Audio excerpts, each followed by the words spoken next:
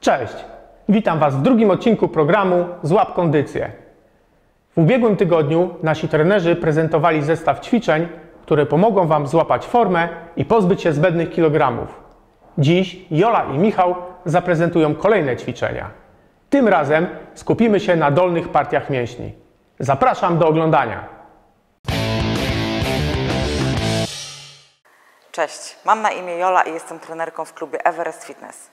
Zapraszam dziś na drugi odcinek programu, w którym pokażę zestaw ćwiczeń angażujący dolną połowę ciała, czyli mięśnie pośladkowe i mięśnie nóg.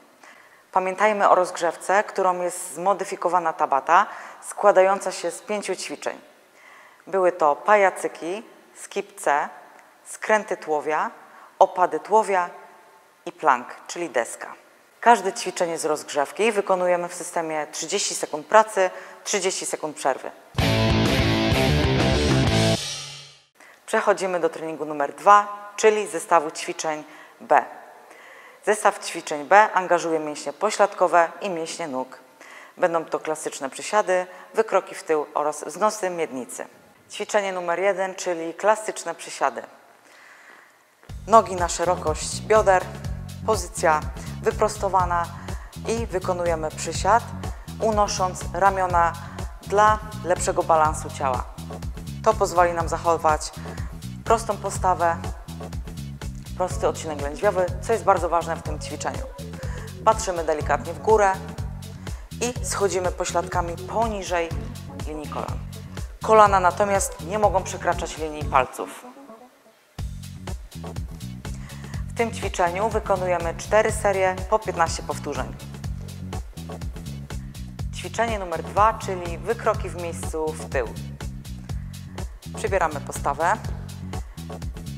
Teraz wykonujemy wykrok do tyłu, pamiętając o tym, żeby kolano nie przekraczało linii palców.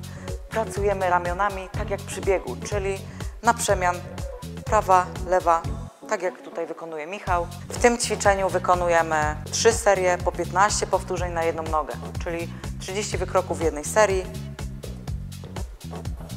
Cały czas pilnujemy postawy, plecy proste i głowa delikatnie zadarta w górę.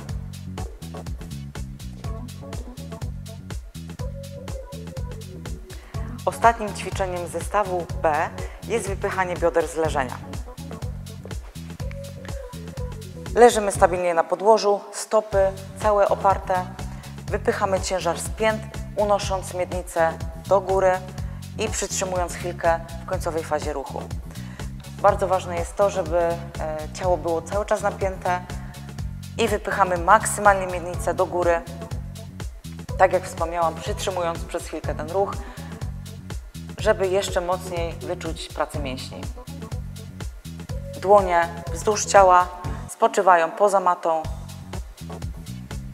i w tym ćwiczeniu wykonujemy 3 serie po 20 powtórzeń.